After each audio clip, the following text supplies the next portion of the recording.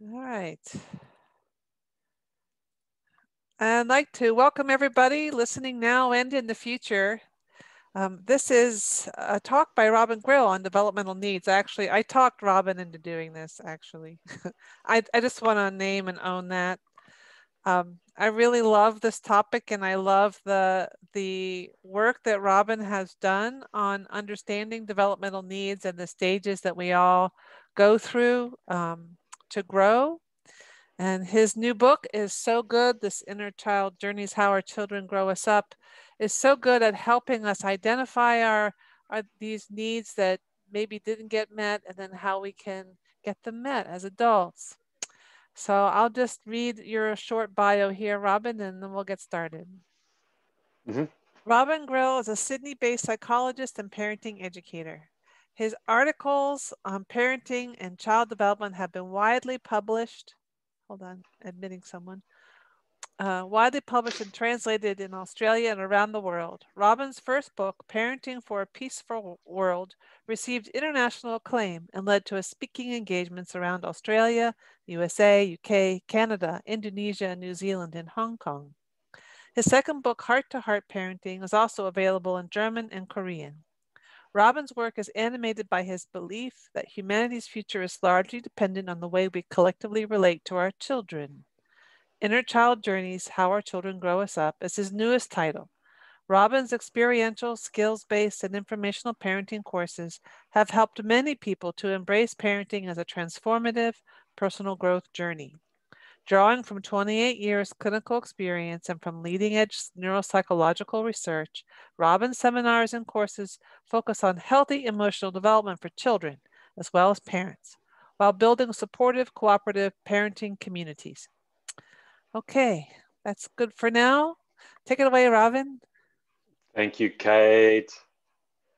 I was going to say when, when you mentioned to begin with that the talk was your idea and, and um, and I'll share that you didn't exactly drag me here kicking and screaming um, because I'm a bit of a pushover. You say talk about this stuff and I go, oh, okay, I love talking about it. This is, I like talking about this at any old time. I find that the material very, very exciting. Um, and um, just while you were talking there too, a um, little bit of news that, that the way that I've framed the inner child work is um, uh, as a training for health practitioners. It's now, I'm now working with people online in India, parent educators in, in India. Um, and gee, that's exciting. It's so interesting, challenging, and very, very exciting. And, and you mentioned some of the kind of countries that I visited and, and um, delivered my workshops to one of the things that really starts to become apparent is how, you know, there's the initial difficulty, the, the big blind spots of bringing this kind of work to a, a culture that I'm ignorant about, essentially. I'm a, I'm a baby in that culture. I don't know what I'm stepping into. And, um, and you know, crossing cultures, uh, you're confronted by people who see the world through different lenses.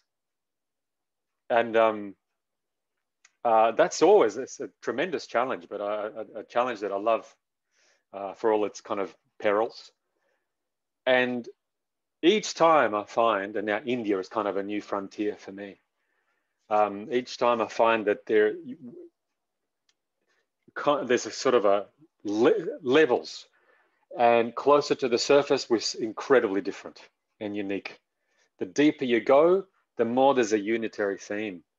Um, and um, it's this exhilarating moment to find through the very, very unfamiliar, the infinitely familiar, the universality of our, our deepest kind of longings and urges, and the sort of the, the shared neurobiology, the shared humanity that just crosses it knows no oceans or national boundaries or language difference.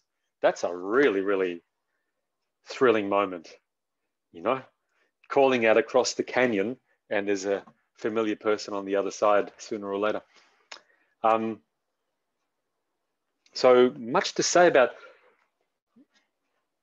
the developmental frame for the healing journey. And, and I guess that we're all here because we, we harbor uh, a, some kind of passion for this whole thing of growth, personal growth, relational growth, healing, and um, in pursuit of human potential, deepening our, opening our hearts, deepening our aliveness and our, our vitality in the world. And um, that's a huge shared pursuit. To give that a, a, language that puts it in a developmental story, a developmental frame, um, brings with it what I think are some really, really exciting uh, ramifications.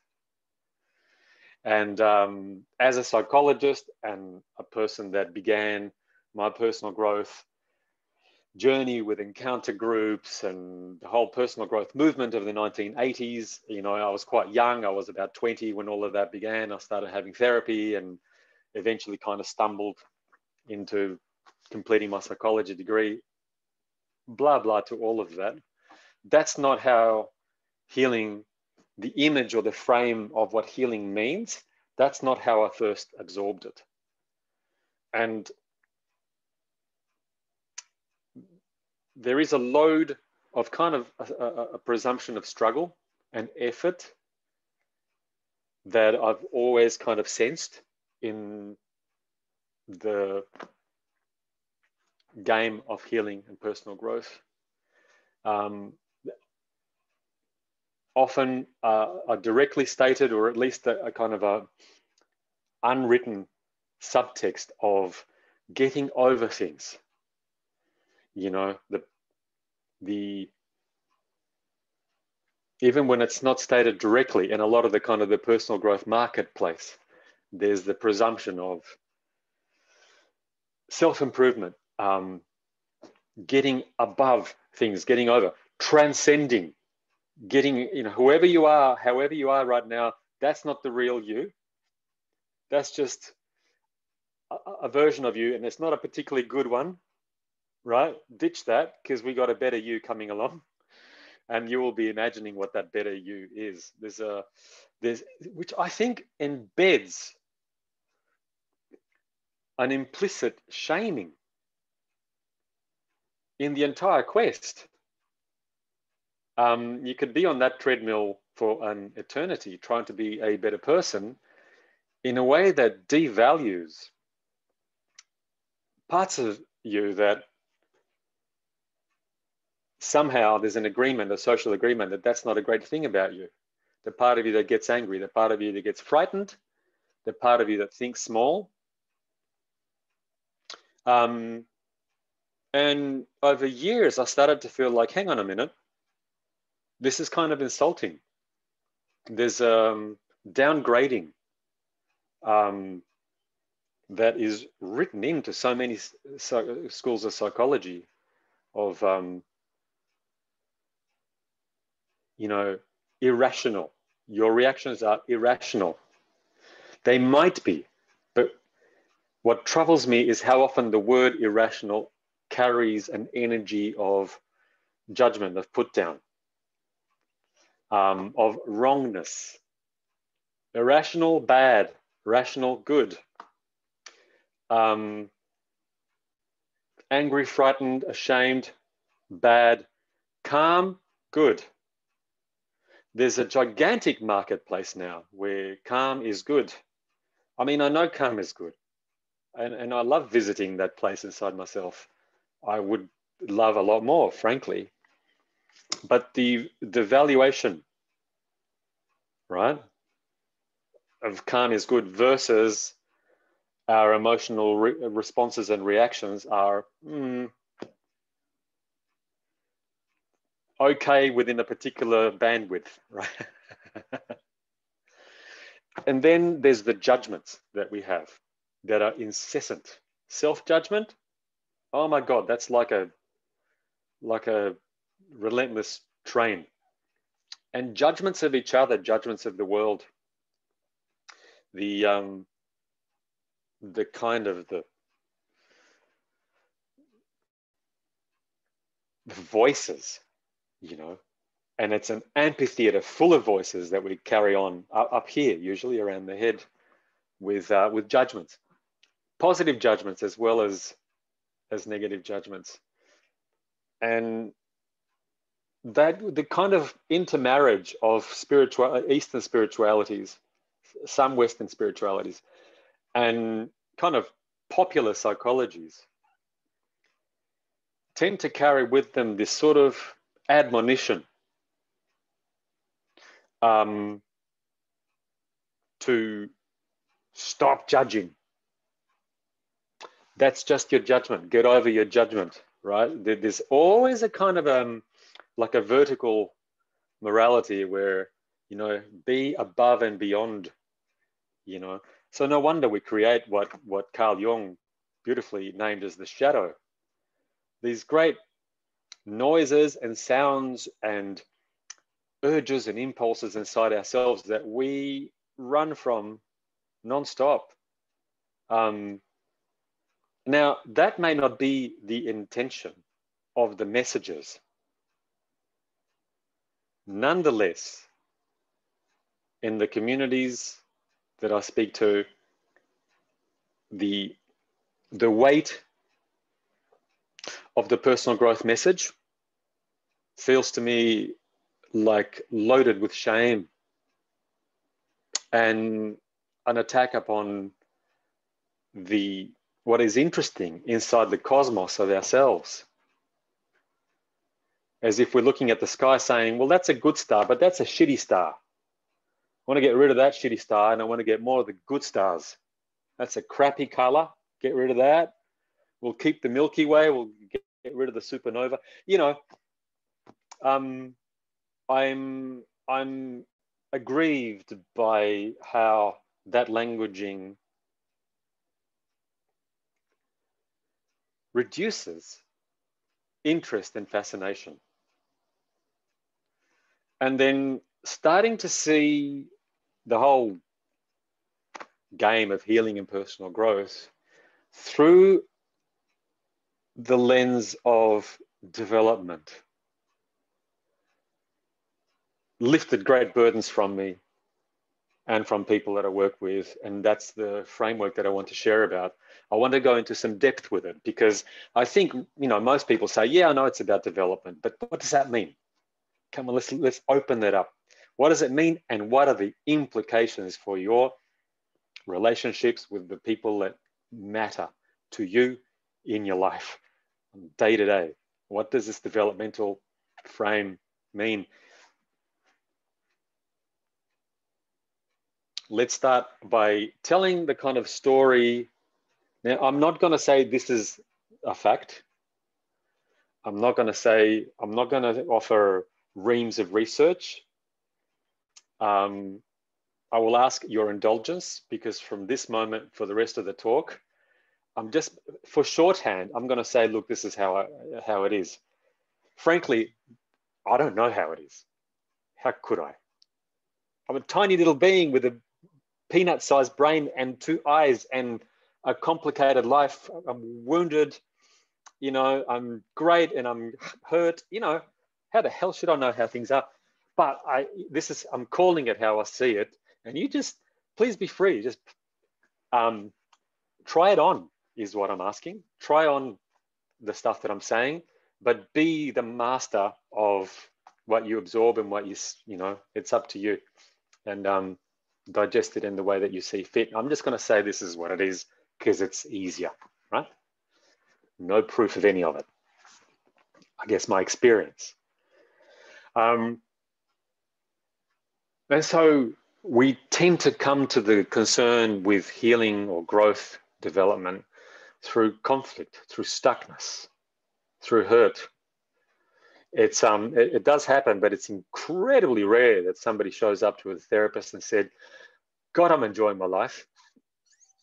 I'm so in love with people in my life and me just enjoying the challenges. I just thought I'd show up here and see what you got, you know, in case I can make things even bigger.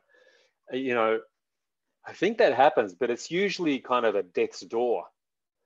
when when when we're when it hurts a lot, uh, when things are breaking.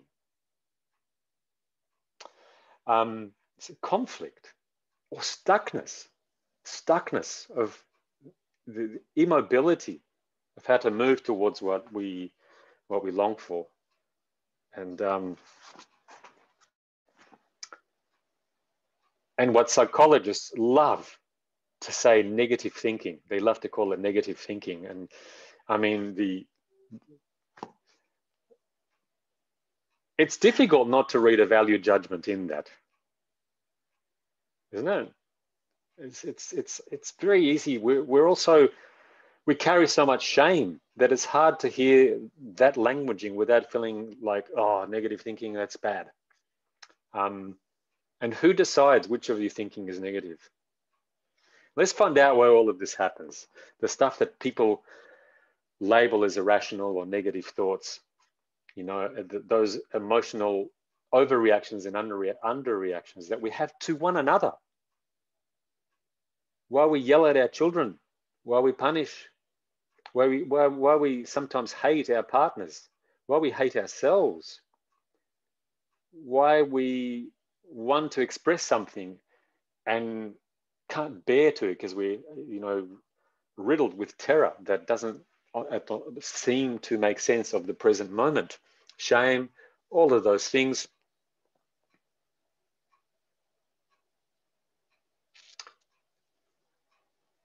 well, here's what I want to offer. The, the, the conflicted states that we wish to get rid of, you could have another,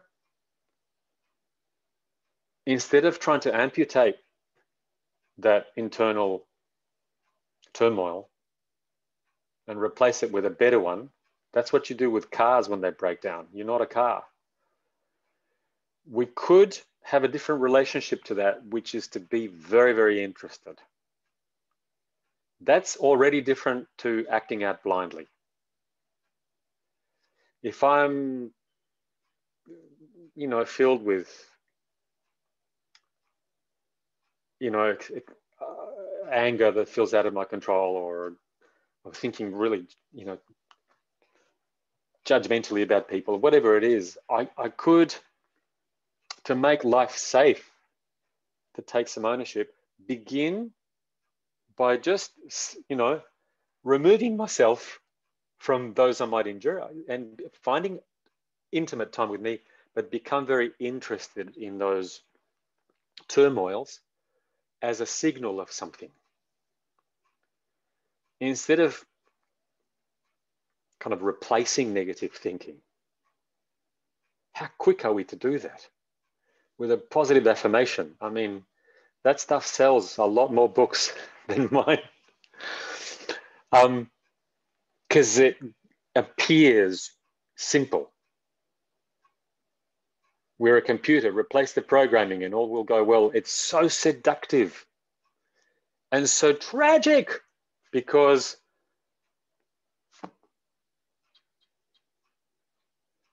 Jesus, nobody goes to see movies where everything goes well. We are attracted to movies and, and books and stories where, because we learn through conflict, we're, we're attracted to that. We don't want to get burnt by it, but we want to be, to have a bridge of some kind of connection to that. We, we're, we're curious.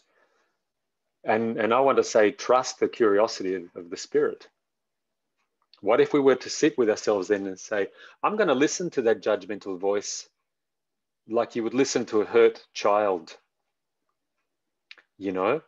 And, and the words that come up are pretty horrible sometimes, filled with hatred and jealousy and all kinds of stuff. What if I treat that as a signal, as a signal to something? And here's how it goes.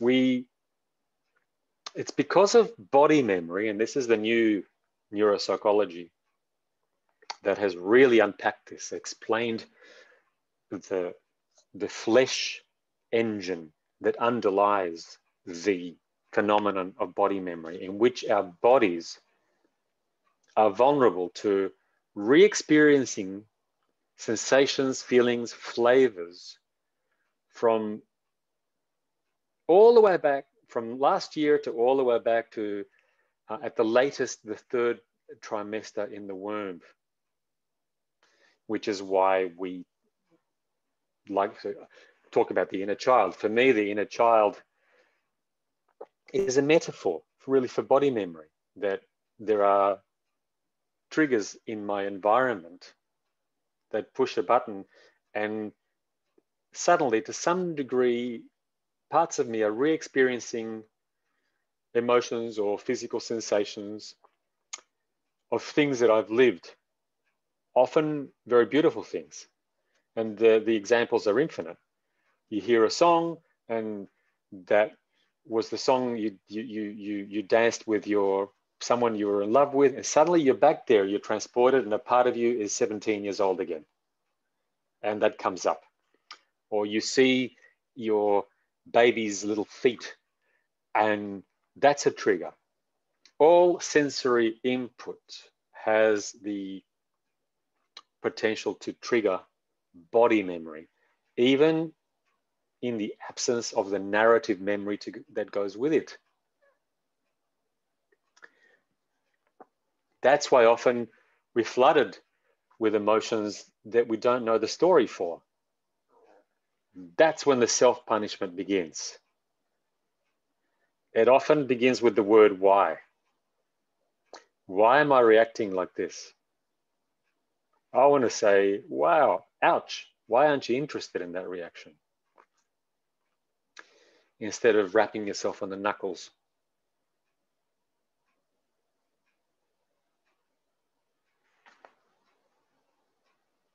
And there's an evolutionary purpose in this. Of course, we are called to re experience bits, sometimes huge bits of childhood. Partly because in, in when our body taps into memories of love, affection, encouragement, immediately there's a flow on effect our bodies want to pass that on. That's part of the beautiful evolutionary story of how the, the support, love, joy we've received from our elders just are, we can't help, there's an urge to bring that to others, young people. We, we constantly tapping in, we're like sending the bucket down the well, tapping into that resource that body memory that we carry forever. It never goes away. Most of the time, we do that without the narrative recall. It's just a beautiful process that we are spectators to. I see a crying child, and my my my attention just wants to go to that person on a good day when I'm having a good day. My hands want to offer holding, and I don't need to necessarily consciously know uh, my body is a little bit recalling how that was done for me. It just happens. But we recall also pain. We recall pain, terror, frustration, horror, absolute abject helplessness. We recall the sensations of nightmare, the sensations of emptiness, deep disappointment. And it's the greatest trigger for those recalls are relationships, human relationships. The reason I wrote the book in the parenting frame is because probably nobody triggers us like our children, but it doesn't end there. It, it's it, humans. If we had another hour, we could talk about how all things can be a trigger. It's, but let's just narrow it to that. Our relationships. Constantly triggering. Your partner shouts, and a part of you goes back to the helplessness of being shouted at by your dad and how you were paralyzed and you lost your sense of agency. And psychoanalysts would, you know, used to language it by saying, oh, you married your father it's nowhere near that simple and nowhere near that absolute or total, not even close. But there's a moment where partially a part of you tra travels back seemingly in time to an earlier helplessness in which something needed to happen. Now, we can suffer from that. We can say it's irrational. We can try to stop that happening. Or we can see the evolutionary value in those regressions, which is, I suggest the latter is a much, much happier and self forgiving and ultimately far more empowering way to go. There's a message in that. Um, I now think about Bruce Perry. If you guys have heard of Bruce Perry, because it's a thing that he said. Um, there's many things he said that I kind of I, am in love with, and I'd like to paint them on my walls. But he is one of them, and I, I will not be able to quote him verbatim. You know, Bruce Perry is the infant traumatologist, super cool dude, American child psychiatrist, and neuro this and everything like that. He tours the world, um, written some brilliant books, brilliant, brilliant. And um, I'd say right now is probably the leading if not the, but one of the top leaders of helping us to understand the how trauma affects. And of course, we are used to thinking of trauma as sudden events. That's a very small part of trauma, very small. Most trauma is not event related, it's relational. It's not about the alcoholic, violent father. Those are the obvious photographable things that deserve attention, but most of what we suffer from psychologically um, states that went on for years. Um, env environments that we lived in. And not always a thing that happens to you, quite often the absence of a necessary developmental nutrient. Right?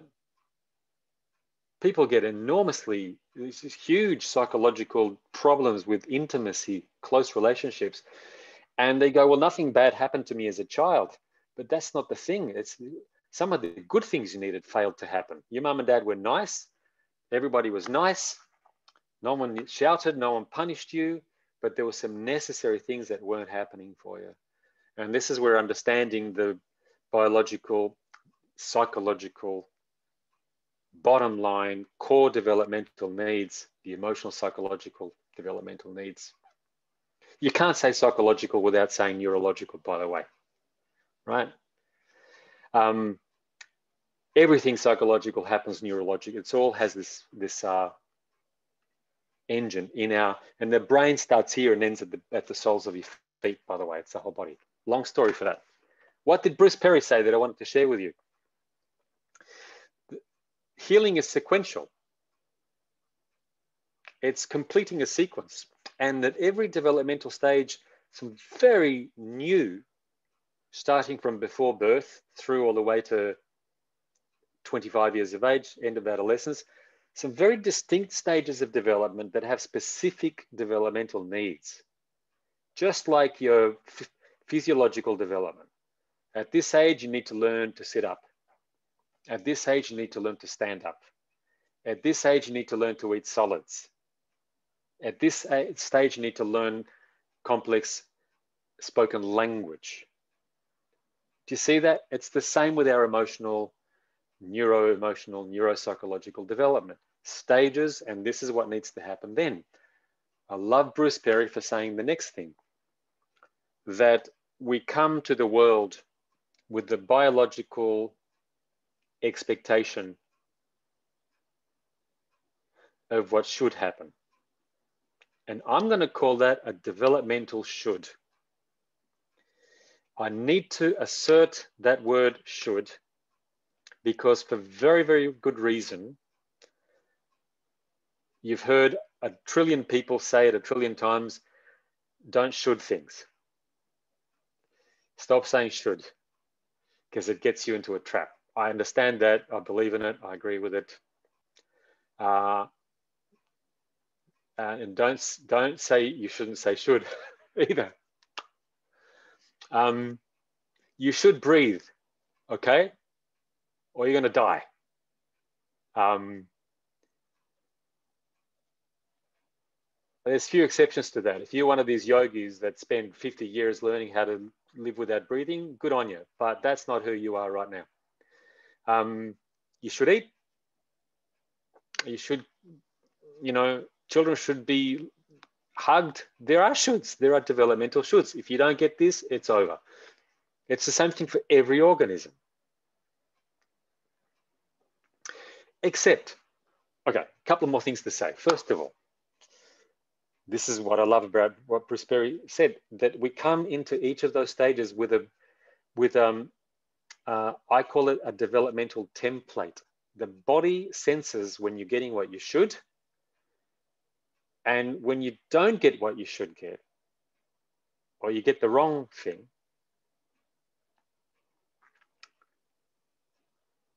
that doesn't come for free. It doesn't, not in childhood. You don't just go, okay, wow, this hurts, or this is very disappointing, and then move on.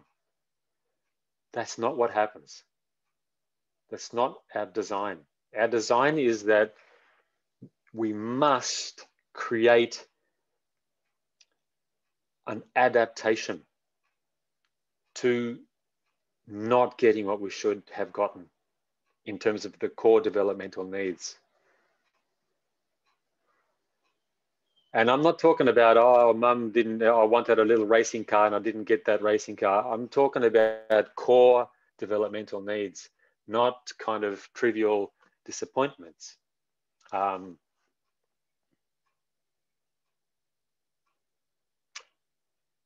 Bruce Perry said, children are not resilient. Stop telling ourselves and each other that children must be resilient. And then we, you know, how do you get resilient? You teach, you know, you teach the 10 bullet points of resiliency in an ethics class in school and then move on. We're not resilient. What we are is far more interesting than that. We are, as children, adaptive. So, children, all of us as children, we're capable of living through enormous shocks. I mean, it's miraculous the things that we live through just huge disappointments, terrifying things, abuse, neglect, you know, complete lack of. I mean, people in my work who lived in families that had no sense of humor at all. Nobody laughed, you know, just um, families that never showed anger, families that never showed affection, um, yeah, it's all kinds of the stuff that we live through. We bounce back. And you'll hear a lot of people say, well, my baby had a terrible night. I just left my baby crying alone in a room. Must be okay because I came to the baby in the morning and baby's, you know, very happy to see me and smiling. See, nothing broken. No, we bounce back, but we don't bounce, bounce back unchanged we bounce back with an adaptation. We're not thinking about it.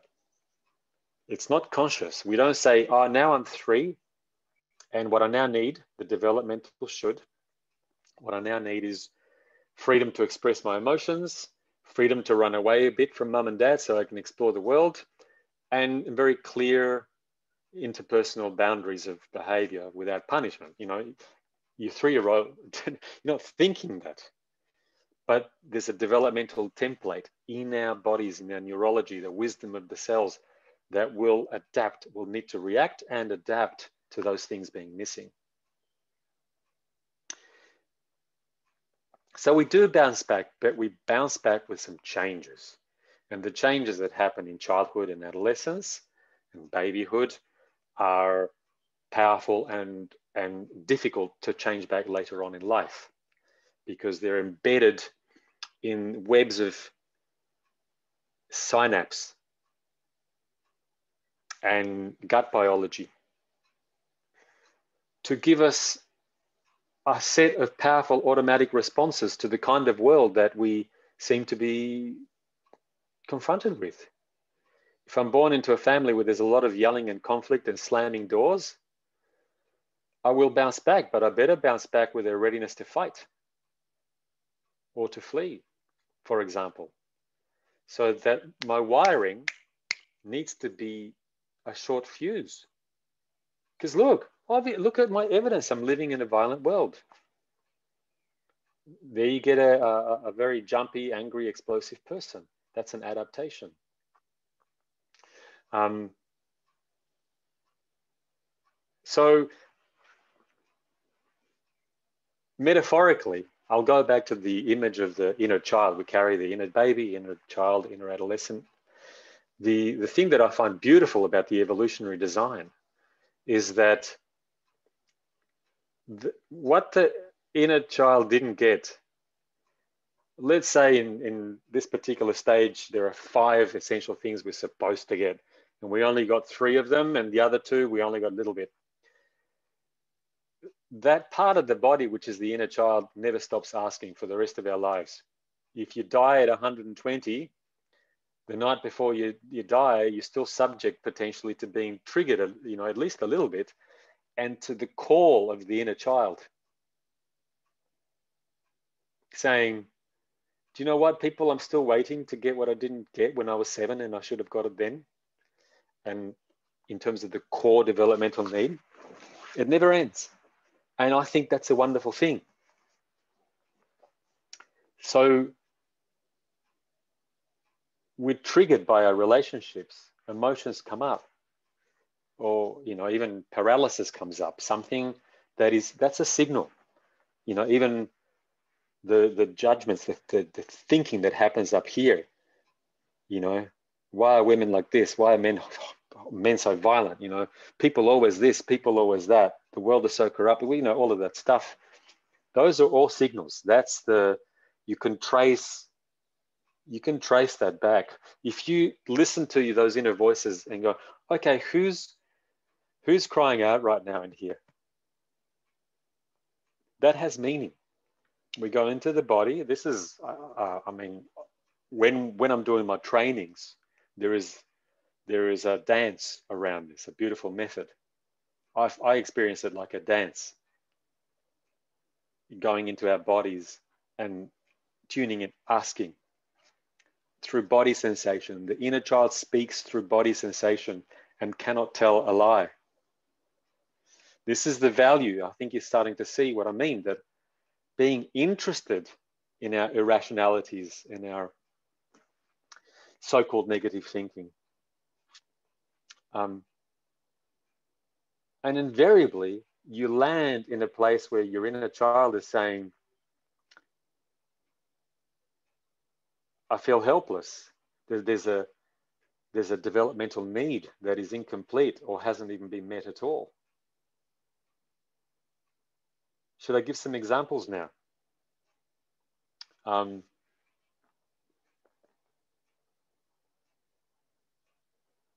you know, somebody that had a lot of birth trauma and who's coming to the, you know, outside, we're already in the world, but coming to outside of mum's womb, coming to that first autonomy of existence, separateness. If that was a great shock, a great splitting, as it is for a lot of people, that, that the developmental need was to be very wanted and very sensitively and response, responsively received. You can see what Bruce Perry is talking about in, in, in a newborn baby's movement, what the eyes look for, how the eyes can lock in to eye contact with, with a mum at exactly the distance from breast to mum's head can't focus on anything else. You know, the way that babies' bodies start potentially to crawl up mom's belly, the way that the body knows how to latch with just a little bit of assistance. Um, the way that the baby's body responds and, and, and, and the heart and the breath rhythm falls into a healthy rhythm via the skin to skin contact. There's this developmental template that looks like a periscope for the right nutrient for that moment, for that stage. That's the same in every stage. Fight or flight is unavailable to the newborn child. So the adaptation when those things aren't met, or even worse, when there is a violent kind of experience of childbirth, the adaptation is dissociative. And then there's a wisdom in that, that you know, because you don't survive if if if it hurts too much.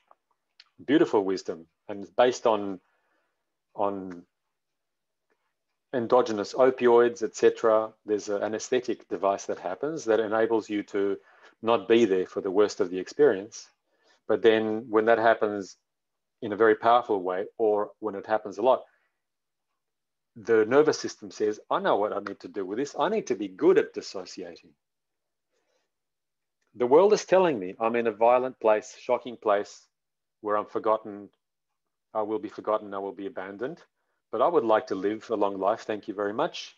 I better get good at dissociating what the nervous system practices a lot, it becomes an expert too. And there's a web of support to prepare that response well. And, um, you know, I'm somebody that dissociates very quickly. I go up into my head a lot, a lot. I always have. Um,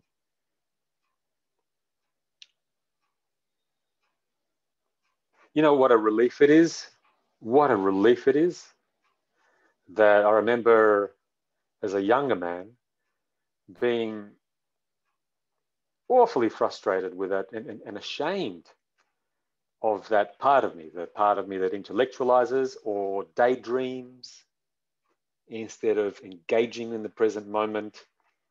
Deeply ashamed of that part of me and as I look more deeply at the developmental framework of healing, the ahas that come with that, and, and more and more I'm thinking, what a gift. You know, what a brilliance of the human body to know how to do that. And just as well that my body became expert at, at that self anesthetic thing, that it doesn't ask for my permission, it just goes. Um, it saved me from many, many things you know, also when you dissociate a lot, you think a lot, and then you practice thinking a lot. That's useful when you want to write a book. So there's always an unexpected, um, often an unexpected, unexpected gift, an unexpected vocation that comes from the wounding. By the way, I'd love to do a talk about that one day. How our wounds often drive our careers. I love that story. Kate, one day you can drag me into it. But then, not just that, when I notice, oh, look, I've, I've really, I've left the building, then to, to go in, what's the part of me that potentially the baby in me that just got frightened? And what's the developmental nutrient that this inner baby is looking for? It, it, it often the answer that comes up, my body tells me it's about touch. It's about removing myself physically from an emotionally unsafe situation or an overwhelming thing. It's um, it's to speak in metaphor. It's you know, be interested in the reaction, in the so-called irrational thing. It's like saying, "Baby, what do you need?" To to the inner baby. And when you ask, the body speaks in images or um, you know, I like using, I like, um, I listen to body sensations. I, I help people how to do this. And you can, you can get a match. You can say, is it this? And the body will say, uh-uh. Is it that that you need? Uh-uh. Is it that? When you get a match, there's an instant change in the body sensation, an instant signal that that's what the inner child, as it were, was calling for. Um, same with all of the ongoing developmental stages. Now, if what happens is that when we don't consider the inner child, all of these incompletely met needs that we all carry something, some wounding from childhood, and that your body knows, you know, your body reacts to what should have happened that didn't for you. If we don't consider that developmental need that we carry in adulthood, what happens is that that overloads our relationships massively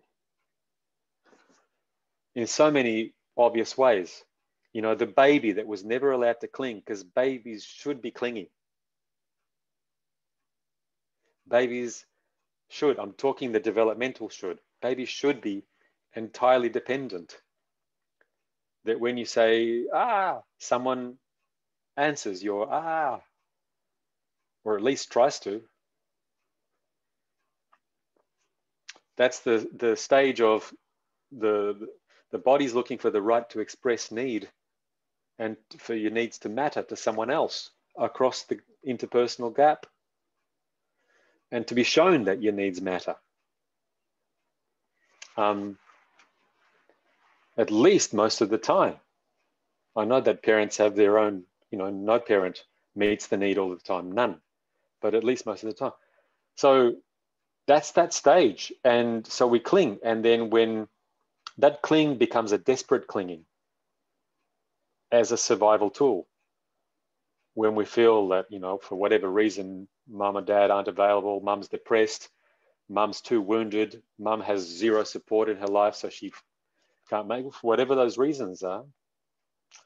And the cling, the clinging behavior, two things happen. We either we add incredible despair to the clinging, as if we we stay stuck in screaming for mummy, um, for good reason, or other people will react to the non-response, the trauma of non-response or very delayed response. Other people react by, uh, you know, the, the nervous system just shuts down. There's a collapse. Hormonally, that's those are very two different situations. There's a collapse of from the from the bodily need for connection it's not just milk, by the way, breast milk, it's connection, contact. From when that need arises, it then starts to lead to a collapse of the reaching out behavior. The need doesn't connect to the nerves that feed the arms, to the nerves that feed the throat to go, ah,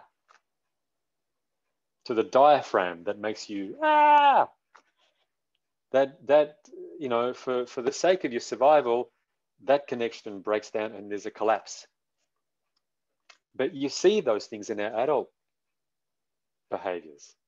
And then we call it personality it's not personality it's history. It's your story. There are those that cling so much to relationships that we suffocate each other. And there is those that never reach out the the, the compulsively self-reliant uh, that, that, that therefore never get to experience the, the, the thrill, the, the bliss of, ex, of um, intimacy. Here's, a, here's another one that the obsession with freedom to the point of self-entitlement. That's massive in our society, absolutely massive. It's my child, I can do what I want to my child. Don't you dare interfere with that. It's my block of land. I can do what I want with it. It's my dog. I can leave dog shit on the footpath. Um, I have a corporation. It's my right to control government with donations. Um, how many examples can you think of that? the moment that there's any regulation politically, there is a chorus of screaming voices saying, you know, nanny state, how dare you? How dare you? In that, I can hear either the screaming toddler that was shamed and punished and sent to his or her room, where the, the toddler years from you know, I'm thinking right now between three and five, the most important thing is freedom. That's when freedom is a developmental need. And toddlers' need for healthy development to be given boundaries that are, you know, with punishment and shame. Parents that know how to say no, and I don't want you to do that, with assertion rather than with violence. And as toddlers, we need people, you know, we have tantrums. All toddlers have tantrums. The body doesn't know how to contain emotion and put it to language. We need the developmental nutrient, what should happen developmentally, is a kind of a holding presence that is centered enough to allow the tantrum to move through and then offer support and then teach language, but without the shaming and the punishment. It's critically important. Now, toddlers are punished enormously and shamed, and the things people say about toddlers are, are horrendous, and so are adolescents. The, the stage where the, there's a developmental need to form opinions. And I know that the, those opinions will be irritating to the adults but then we we we we put them down. We um we shame them. We reject them. We shout over them. All kinds of stuff. I'm just giving you these examples just to demonstrate to you how different the needs are, different developmental needs, so different themes according to each stage. And then when those needs are not met, or when we're given the wrong thing, what the developmental shouldn't, the de developmental should nots that we get, we overload our relationships as adults. We demand things that people can't give, such as let you know I demand the right to run my corporation in a way that destroys the oceans, and up yours if you if you should have the temerity to make a law that says you don't want me to do that um, the you can see in our culture, in our economics and our politics, the exact hyper grandiosity of a three or four year old. Developmental arrest. You can't go to that person and say, do some positive thinking, mate. This is addressed at the level of development. Somebody did horrifically shame and punish that person for being what a normal toddler is. Toddlers are those people that are superheroes because they are flirting. This is a developmental need. They are flirt, just like little puppy dogs fight all day. They're, they're developing skill, relationship skill. Toddlers are flirting with how to handle power, how to have a strong voice.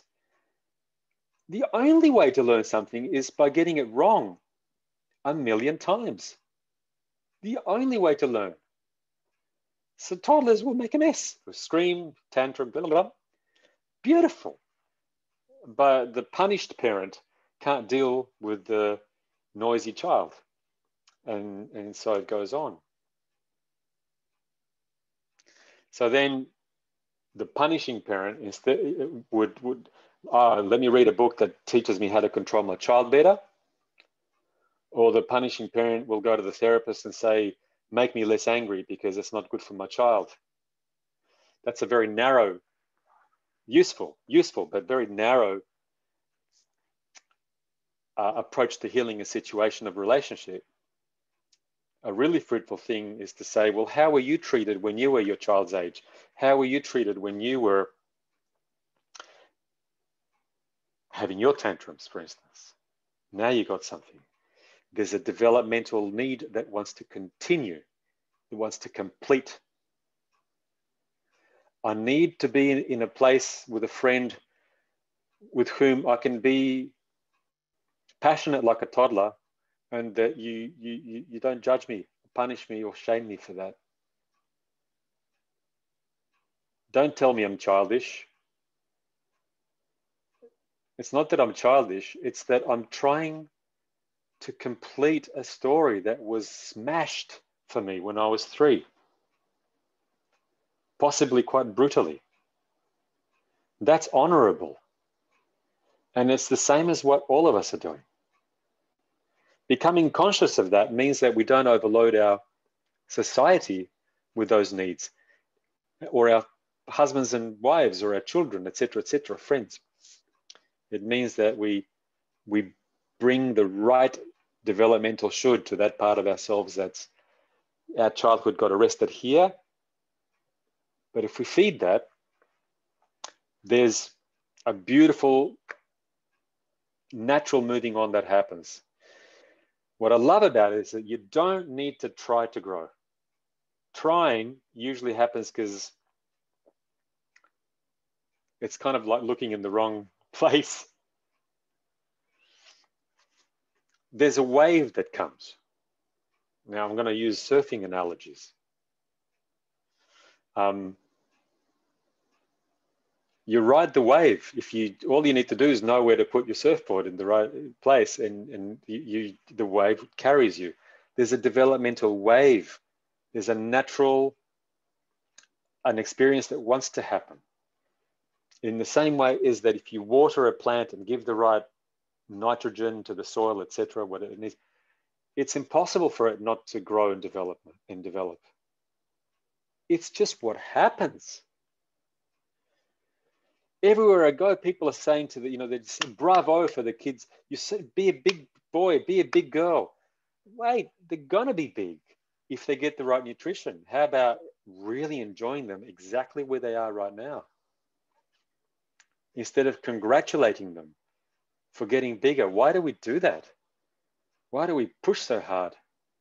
And you can bet all the money on the planet that as we push our children, that's exactly how we treat ourselves.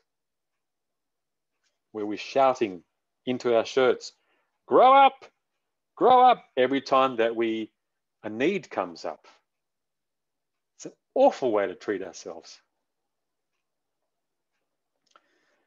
And then in a moment of great wisdom, where your, your heart opens and you expand, afterwards you go home and you congratulate yourself. Wow, I was growing up today, wasn't I? Here's some gold stars for your chart.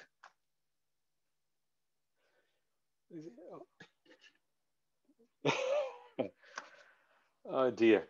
So here's the last thing that I want to share then.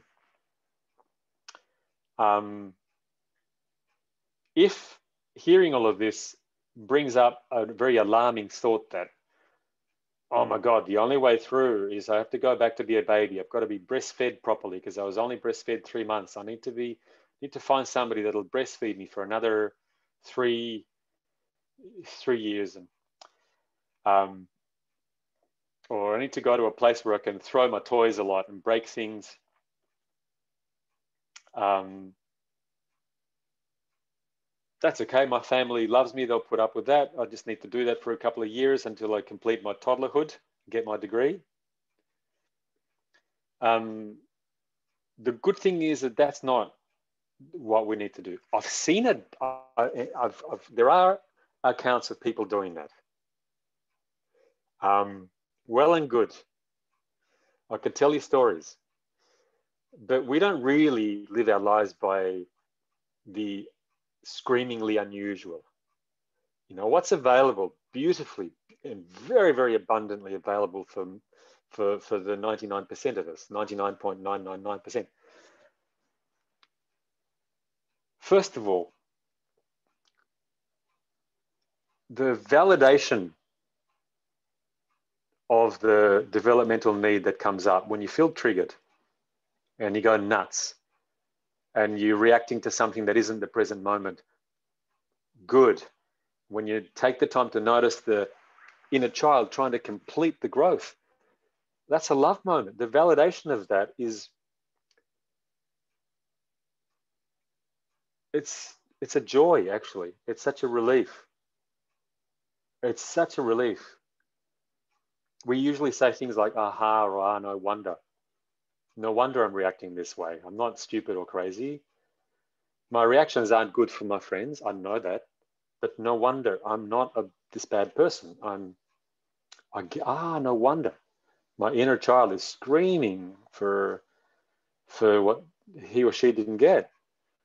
Already, just that recognition and validation is it changes your gut biology, it changes your brain chemistry, it changes the rhythm of your heart, changes your whole body. It's already a nutrient, already, before you do the next thing. Validation, real validation, not validation out of a book.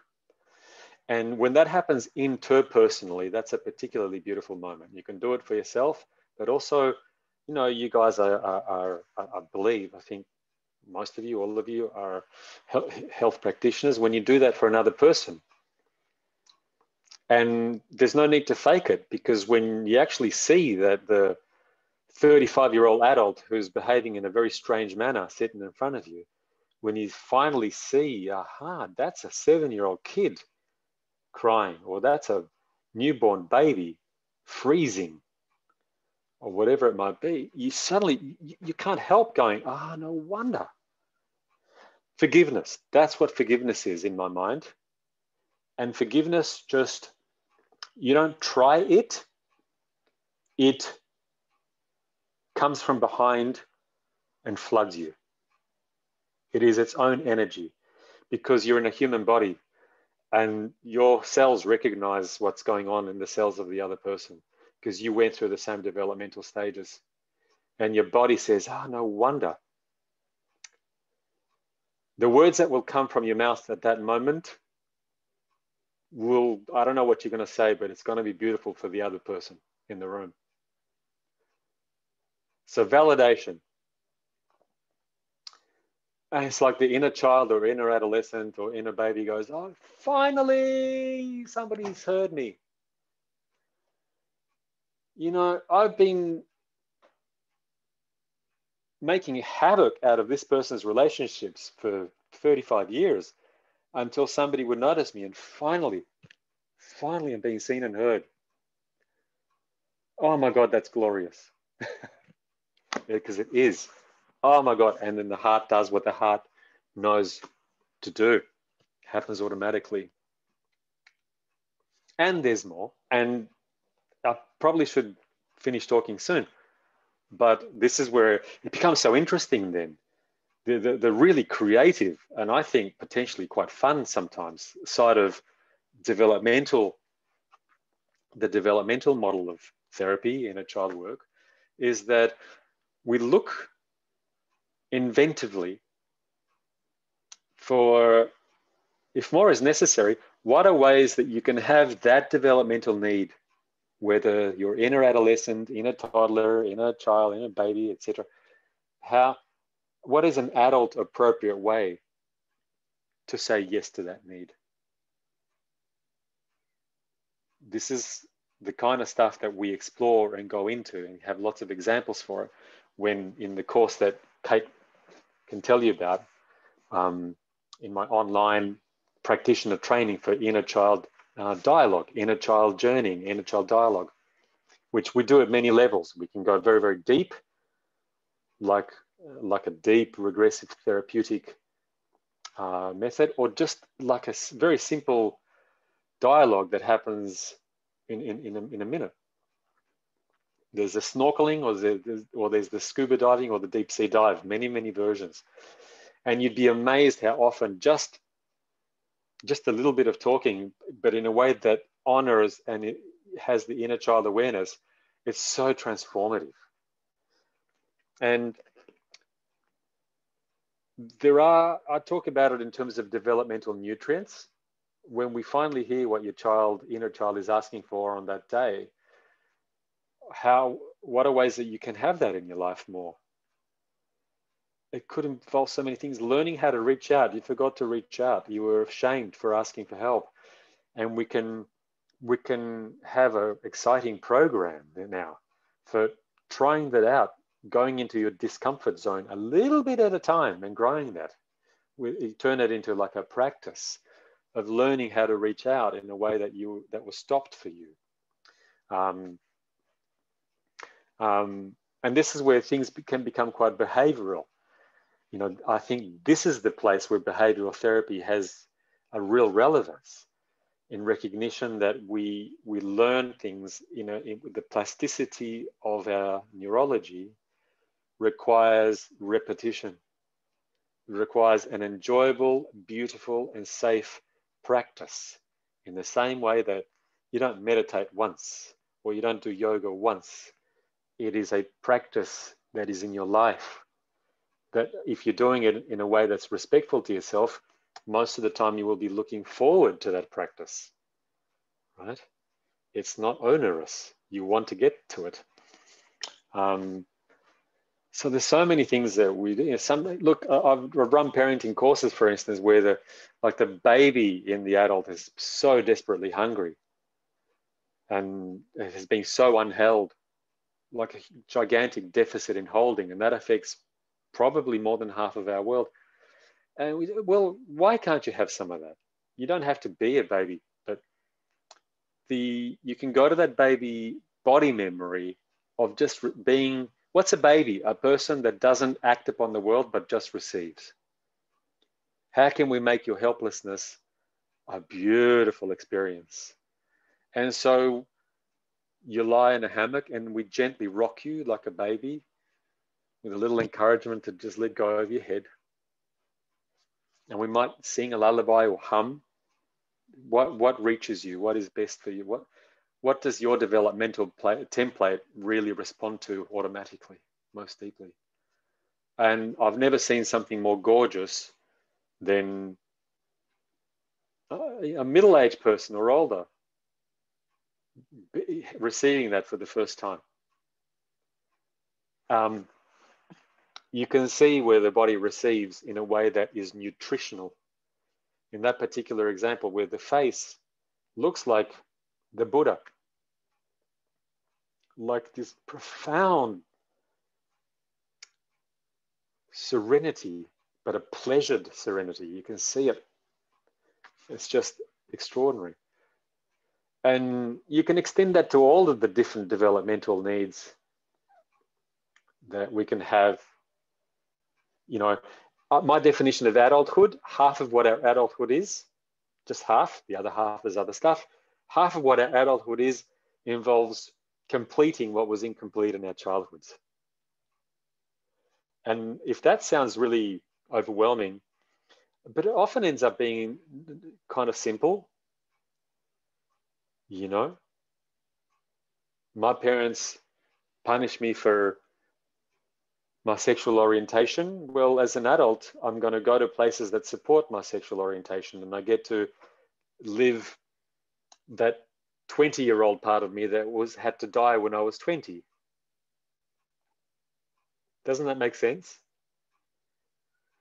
Um, if I do that consciously, then it's really safe and it works you know, people that go and learn how to be assertive because that was crushed when they were seven or five, you know, etc., etc., etc. Learning how to be held, learning how to reach out, all of those functions that are developmental stages of the formative years. And yeah, there, there is there's some creativity involved, and how, how can I how can I have that as an adult?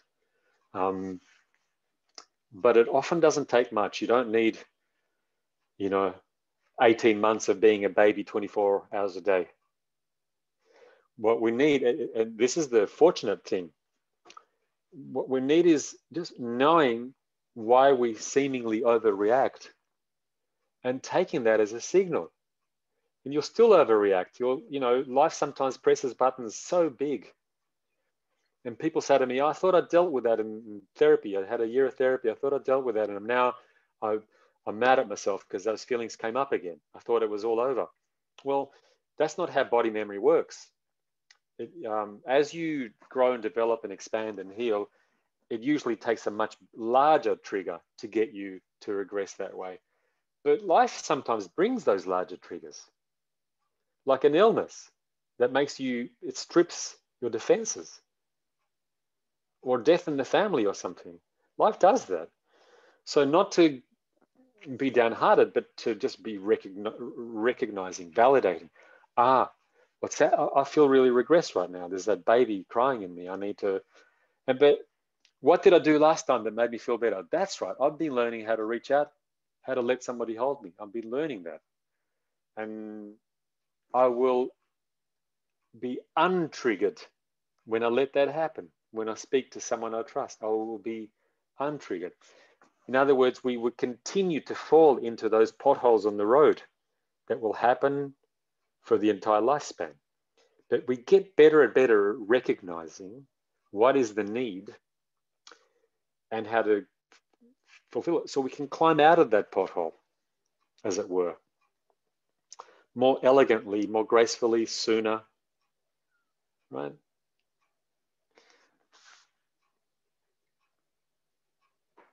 I'm, I'm hoping that that's been meaningful to you and that, that I'm hoping you've enjoyed enjoyed the story of the story of all of us.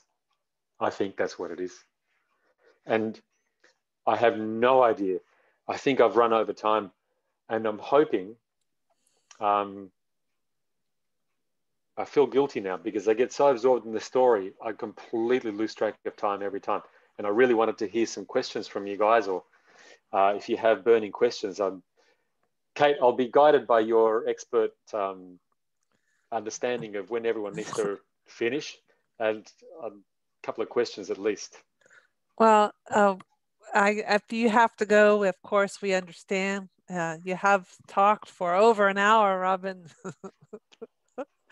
yeah, I know you just wanted to talk for half an hour, but you you definitely was a, amazing stories and good news all around. Good examples, very good, and I'm sure there are a few people that would love to talk with you.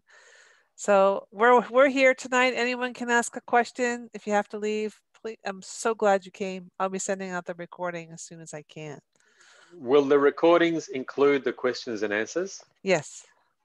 Okay, I do want to give you guys opportunities to ask questions as much as I can. I know there's a lot of you. Um, and that if you do have to go and you have an appointment, etc., or you're just tired um, of listening, I, you know, that do what you need to do, and the recording will show you whatever bits you missed. Yeah. Well, yep. um, Tara Blasco, you've opened up your microphone. Do you have a question? Yes, I do. Hi, Robin. It's really good to hear you. And I just have the question if you can describe a little bit the course, the six, I think, I believe it's six weeks. So, what's your plan? What you are planning to do? Thank you. Um, yeah, well, uh, the curriculum involves understanding the, uh, to some degree, understanding the the the biology, the the bodily processes, the neurological processes of why we regress, why we are triggered, the beauty of that system, how it works. And then we'll be looking at the developmental stages and understanding what the needs are, which gives you a really good frame of reference. We'll be learning how to read our own and our clients' reactivities that we're not just saying, wow, that's negative thinking or that's you're too angry or whatever, but we, we, we learning how to hear the, whatever that is, the screaming child, the angry adolescent, whatever that is on the inside in a developmental kind of a framework. And then um, I'll be teaching you how to, how to use, it's a step-by-step -step dialogue.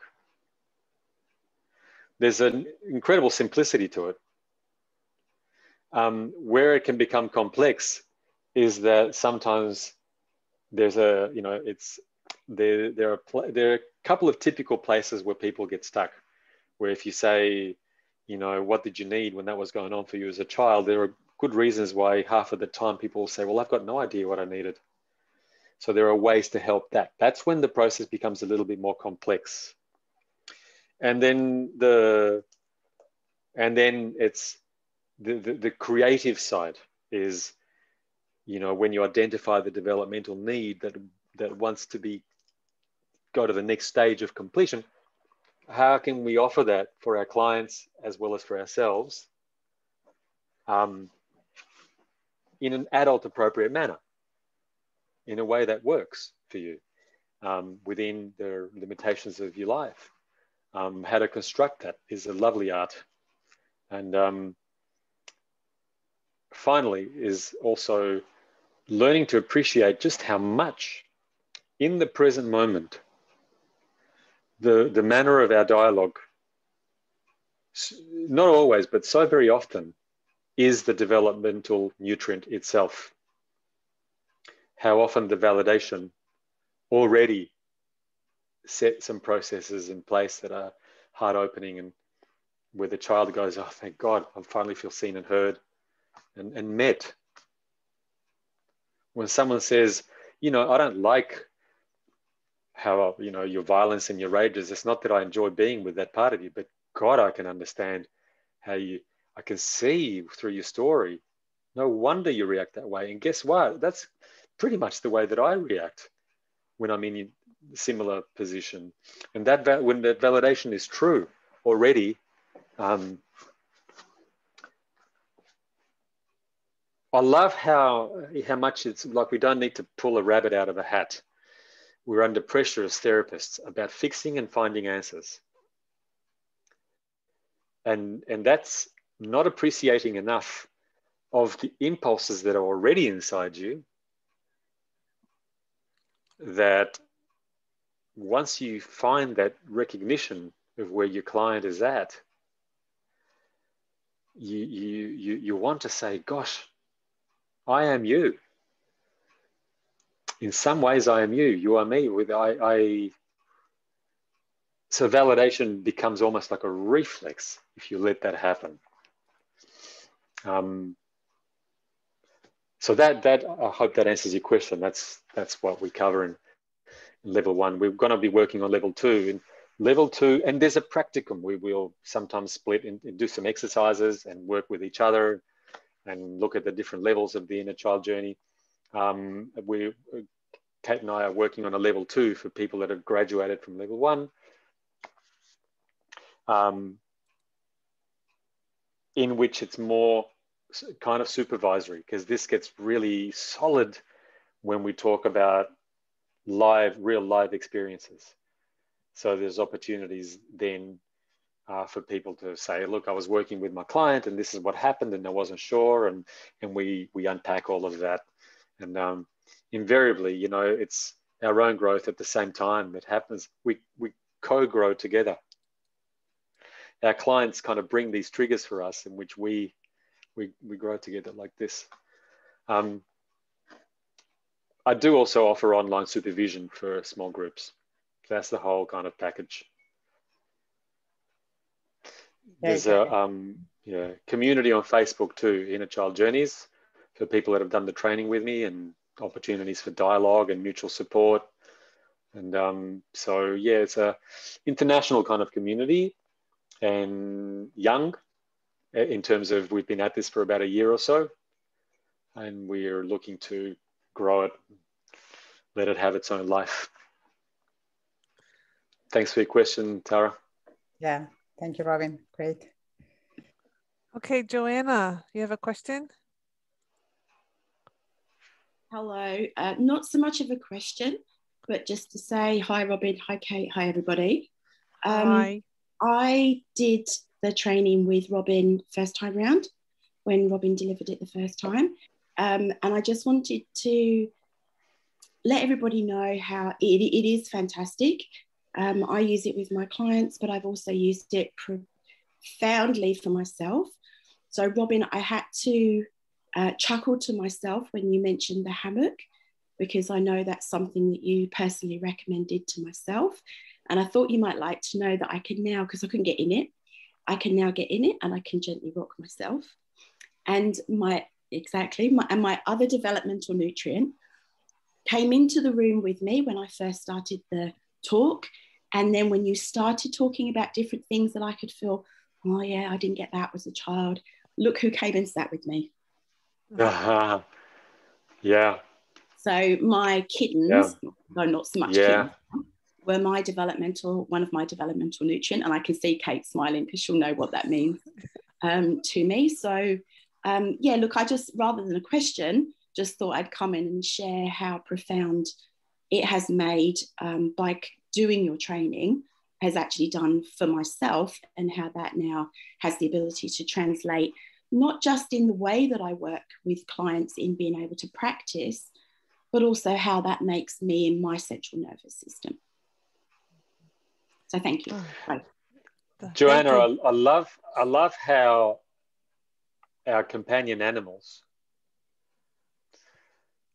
they bring us perfect and absolute freedom from any of the judgment, abandonment, shaming, in, in which in that bubble of our interaction with our animals, we finally find permission to, to surrender to the pleasure of contact.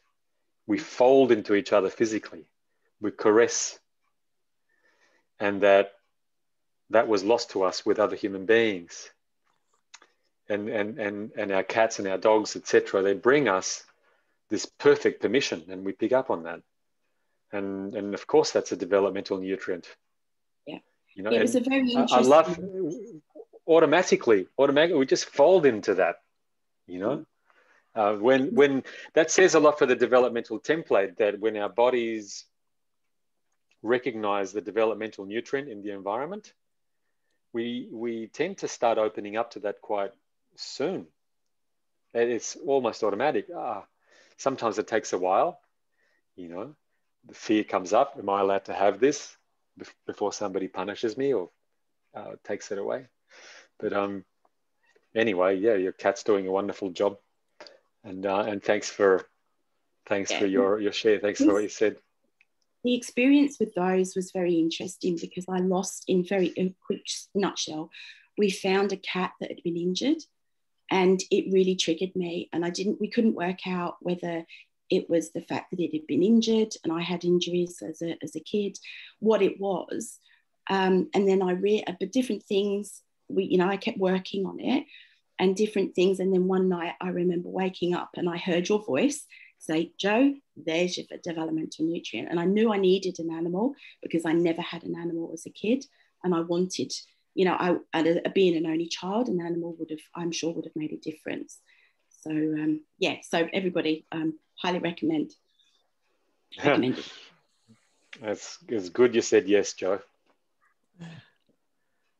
I'll say. Um, hubby, and, and look, yeah. you know, the fact that hubby's done this journey with me is um, is also good because it meant that you know he understood completely. Um, yeah. Why? Well, okay, we need to do this. And, I'll say this to everybody. That's why that's one of the big drivers for me of doing this kind of work in groups. That that I know that it, when we have community around us that is inner child aware, it makes everything flow so much better. When we're not just working alone, when we have recognition of each other's kind of rhythms, it works so much. You know, it, it's amazing for couples therapy when instead of just blindly engaging in the, in the conflict, but to, to have a deep understanding of not just our own, but each other's developmental story and, the, and where, where the triggers are. You know, then you realize it's not you I'm fighting. I'm fighting with some aspect of my own past, and you're reacting to an aspect of your own past. And now a really good conversation can be had. So, you know, the the inner child aware community or inner child aware culture is the to me the the great longing, the great desire that I want to see that happen more and more and more. Thankfully, I'm by far not the only person that does this kind of thing. Um, I just like my method. That's what. but we all like our own method. Mm. Yes, and you have a good method, Robin, and it's really easy to learn. Cool. Uh, yeah. So, um, M M M, did you want to ask your question? You put one in the um in the chat, and I'm happy to have you come on. And I see Baka, I see you there. So, did you want to come on, Baka, um, MM, and ask your question? So MM asked you a question, Robin. What types of therapy would you recommend for healing developmental trauma? Many because because um, it, the therapy needs to, it isn't therapeutic if it doesn't answer what the developmental need is. So developmental trauma stretches from, you know, being in in the in the womb of a of a mum who's deeply conflicted through to different themes and more different themes and more different themes, all the way through to an adolescent who is not allowed to choose their own vocation and is forced to study things that they don't believe in, which is developmental trauma. Absolutely. Uh, I mean, and don't underestimate that. It, it hurts people for a long time. Um, so there isn't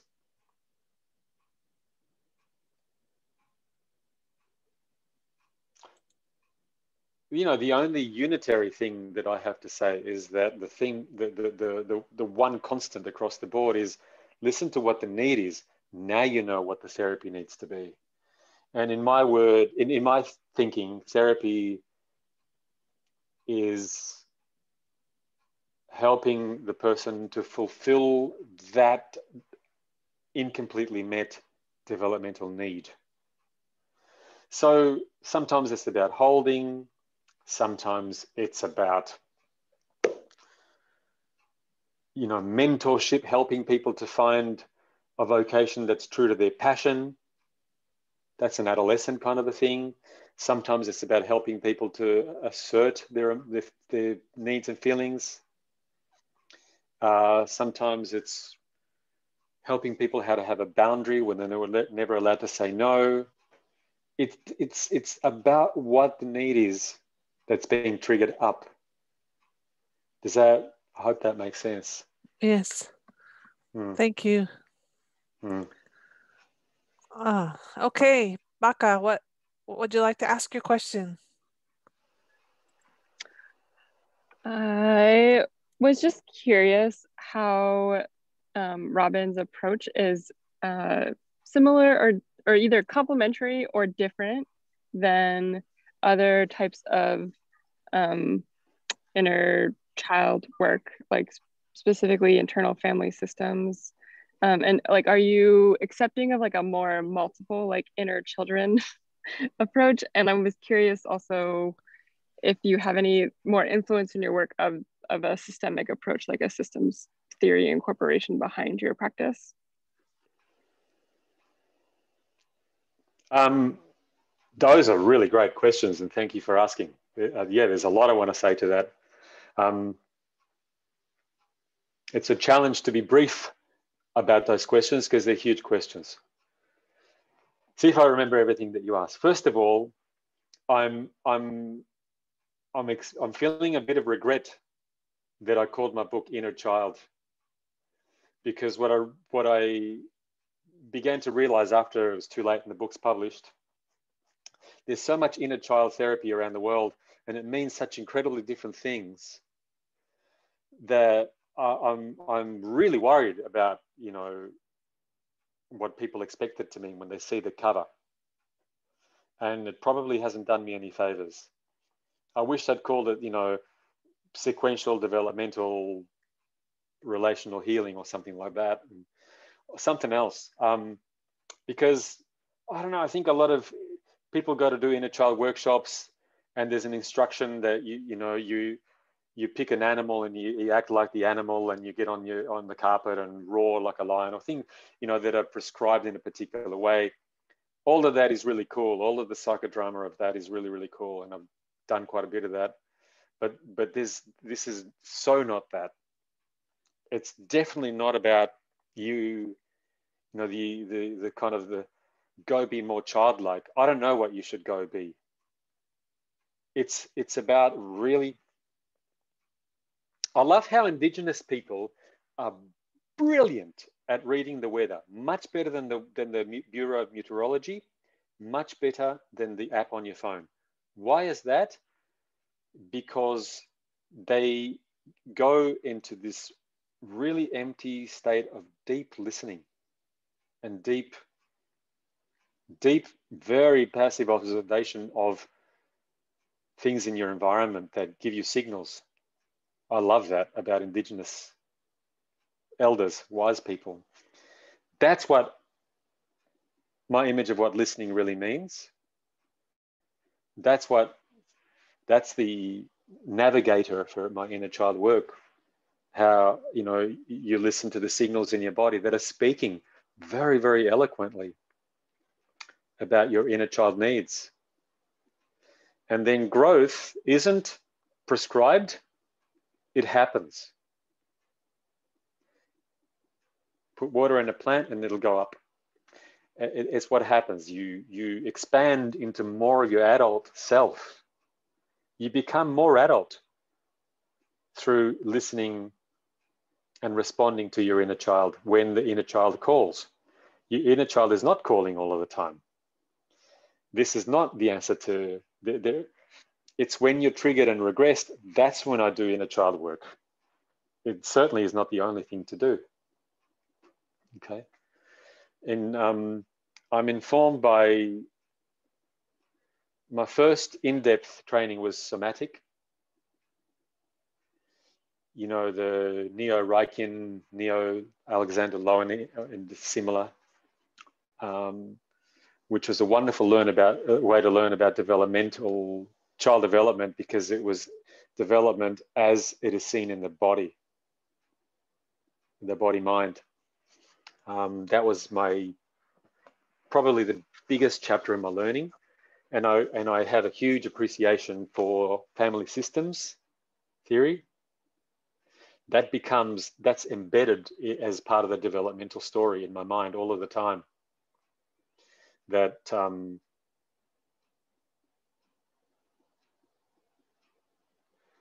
that's part of our developmental story. What, what happened between us and our siblings, and how we migrate to opposite corners.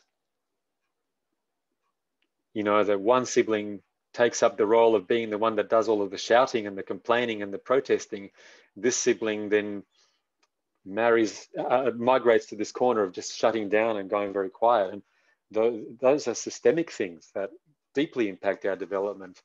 But the, the inner child work then is identical we go back to how that happened and then you don't have to look for this it's already in your body that part of you that longs to complete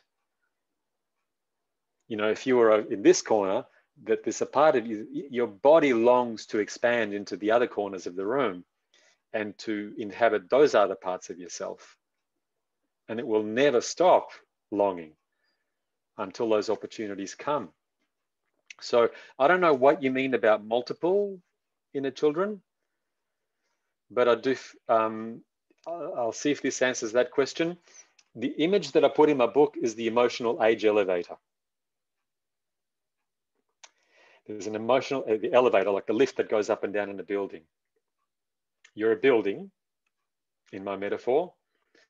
The ground floor is your birth in the year of your birth. The basement is your time in the womb. There's no building without a basement. That's part of the building. Every floor is one year of your age. The top floor, the penthouse apartment, is the age that you are now. By the way, the building's not done. And I hope that you get to enjoy a building that's roughly 120 floors high this lifetime. The thing is that the lift, the elevator, is traveling up and down many, many times every day.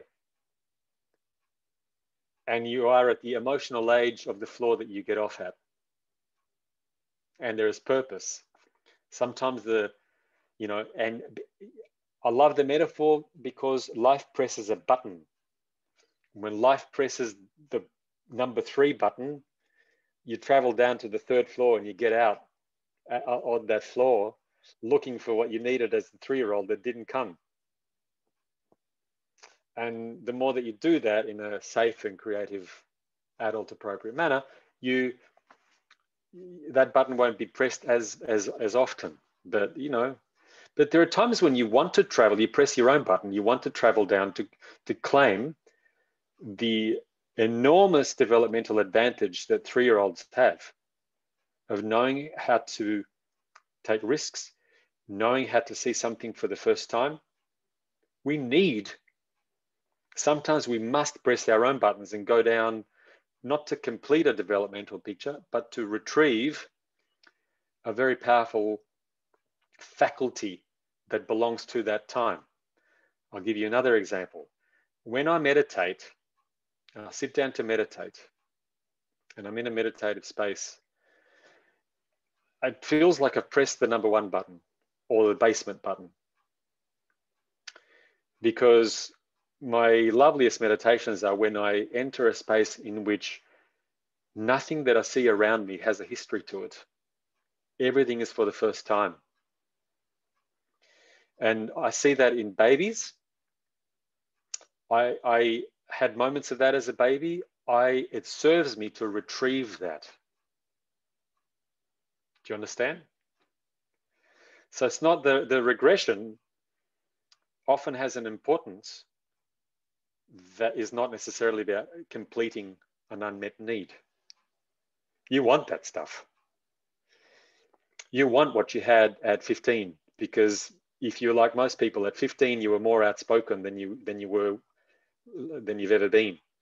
Sometimes you need that. And to reclaim that faculty without being consumed by all of the despair of 15ness, that's a cool thing to do. Press the 15th floor, get out, take what you need, and go back to your age now and, and use that. Right? I, I don't know if I've answered all your questions, but I hope I came close to that. You good there, Baka? Okay. All right, well, it, it, it is getting late here, Robin. So we'll probably need to come to a closure. You could probably um, answer questions yeah. all night, huh? Absolutely. Um, uh, well, uh, we'll sign off. Any what I've said is in my book, and you can find my book online uh, as a single book or paperback in the, on, the usual online stores, or uh, you know, join us. Uh, there's still spaces, I believe, in our next online course. And Kate, you can tell people where to find that. Yes, I'll email everybody the recording and the link so you can look at things yeah. and Robin's very, very generous in providing the, the table of developmental needs and some of the uh, more descriptions of his journeying technique. So I'll send you those links as well, and hopefully you'll join us. Uh, we start in May, right? May fifth is yeah. our first our first class. Well, it's May fifth in the United States. Yeah. It's May sixth in in other parts of this confusing planet. well, thank you so much, Robin Grille. You've been in just great form tonight. See, everyone's clapping. And um, we will uh, we'll see you all when we can, when we will. And um, Robin, we'll see you in May. Yeah, look forward to that. Thank you so much. Thank you very, mm. very much for the opportunity. I really enjoyed speaking with you guys. I really, really appreciate your your coming along and your presence, and I hope to see you again. Thank you both yeah. so much. Yeah, it's really wonderful. thanks pleasure. for coming and turn on your Thank microphone you. as you leave. Say goodbye because I love to hear your voice. Bye, everybody. Thank you. Goodbye, you, Anna. It was Robin. so good to see you all. So yes. wonderful. Thank Bye. Thank you. Thank you so much. Good night. Night. Thank you, Kate. Good night. Thank you, Robin.